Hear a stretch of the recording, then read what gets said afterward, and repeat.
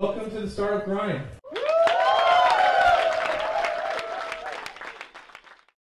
So you're an active blogger. I mentioned if you, if you haven't checked out Gabe's blog, it's an awesome blog.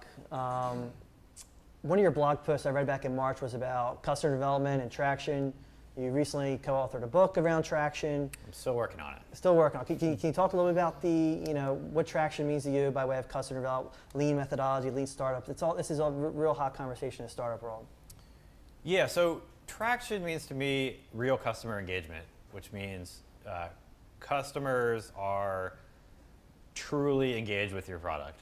Um, and you could, that means something different across different products, right? For here, it's, you have people wanting to have the space, right? Um, for consumer search engine, for, for me, it's people want to switch to it as their primary search engine. Um, and then once you have that engagement, the question becomes how do you get more of that engagement? And so that's what the book is kind of focused on.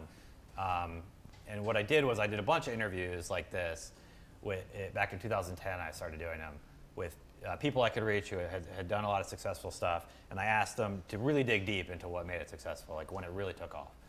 Um, and what I uncovered was they used about 20 different uh, what we call traction channels to do so. So obvious ones that people always know, you know, SEO, AdWords on Google, sales, but then there's all these other ones that are kind of edge cases, but they're not really edge cases because people are successful with them, like trade shows, um, affiliate marketing, you know, just business development. Um, and generally, when a startup took off, they were focusing on not just one of these. One of these made it take off.